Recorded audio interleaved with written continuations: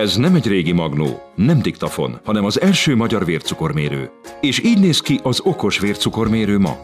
A cukorbeteg naplót írt akkor, ma csak bepötyögi. 30 éve ő is részt vett a fejlesztésben, és ma is itt dolgozik. Ami nem változott, megbízható, pontos, világszínvonalú, magyar. Vásárolja meg a Dékont Nemere készüléket decemberben akciós áron a Benu gyógyszertárakban.